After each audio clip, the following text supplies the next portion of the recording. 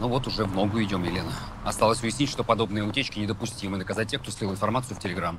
Вы сможете это сделать? Наказать по закону? Ну, вы же по закону действуете, капитан. Да, я честный опер. Ого, честный опер. Хорошее название для кино с печальным концом. Честный опер. Вы знаете, когда я наводил справки о вас, это слово я слышал чаще всего. Знаете, какое было второе? Ты что там, частным извозом занимаешься? Семь минут, Сережа.